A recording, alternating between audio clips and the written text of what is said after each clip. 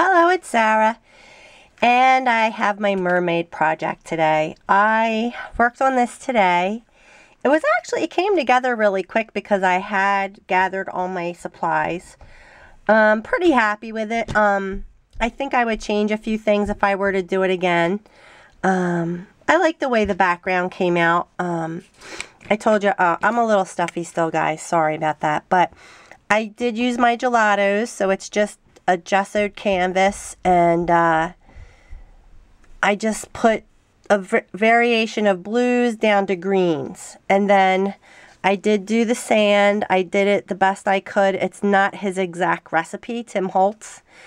Um, I did use the uh, distress glitter in antique linen. I used the clear um, UTEE and I used a little bit of distress uh, embossing pattern, the vintage photo. I don't even know if that was in the, because I was too impatient to go back online and look.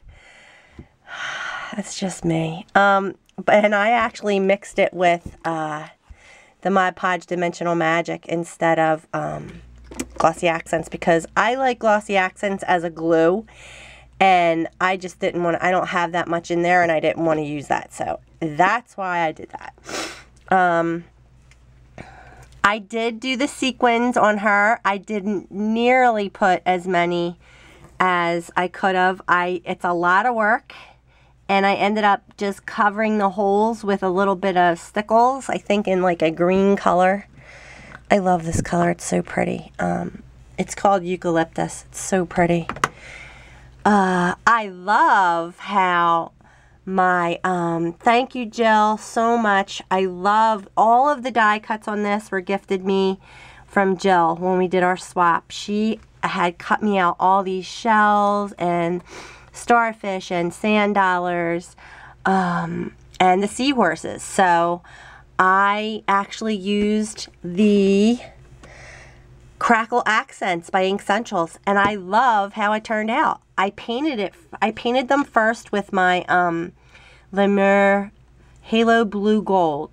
It's um, by Jacquard. These are fabric paints, and it's like a um, metallic paint. So I painted them first. I did ink the edges and stuff, but I just covered them just like you would with glossy accents, with the crackle accents, and let it dry, and they cracked. So I was really happy with that. I don't know if you can see, but she had a small one and a big one. I kind of made the big one loop around the mermaid's hand, and it's like she's holding them.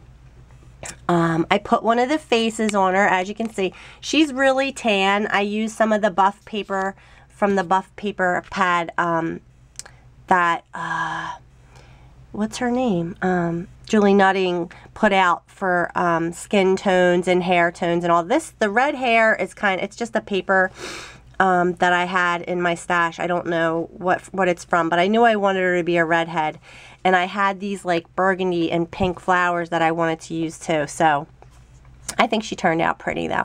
Oh, I used one of the faces. I like it. I used the one with the closed eyes, the middle one on her. And I just, you know, I kind of just, uh, I pinked up her cheeks a little bit. I didn't do too much coloring on there. And then, I mean, as you can see, I went crazy, of course, with embellishments. And that's what I mean. If I'd, if I had it to do over, I wouldn't put as much, but I, I totally covered it with um, die cuts and um, punches and um, the die I used was this one and I can't find one of my leaves but it's the Shapeability Spellbinders Foliage. I love the big one. The big one is back here. I did one. There's actually two, three of those on here. Um, my battery's blinking. I may have to do this all over again. Um, but that's it. These were just flowers that I had in my stash and they looked kind of, I don't know, underwatery and I just liked the way they were sitting on there. And I used all the burlap flowers and um, like linen flowers and I put a pearl in the seashell. I just painted them with distress. I did a lot of white shells, which I should have probably changed up the colors. I could have probably done this a little bit of a bluish or something, but I use I just use the Tim Holtz. I used the orange, white, and I did use pink on that shell, but it's um so I'm going to go back down that's pretty much it. Oh, I all I did was with the gelatos, I just used um, my circle stencil and rubbed away the color. And that's how I made the circles. The same thing with the swirls. I have a swirl stencil and then I, I just rubbed away the color with a wet wipe to get like that background kind of swirliness. I probably would have brought the green up a little higher. Um, I could probably still add it, but I'm good. I think I would like to do another one. It was so fun. Um, and then I put these little bubbles. These little bubbles I bought for um, when I was doing resin.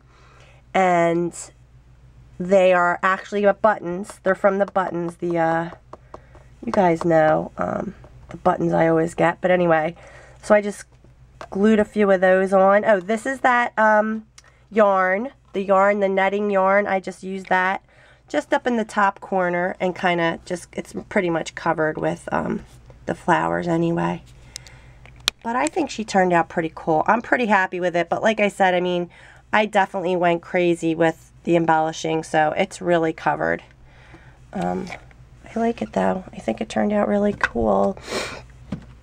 I've enjoyed these last two projects I've, I've worked on. So um, that's it. Hope you guys like and thanks for watching.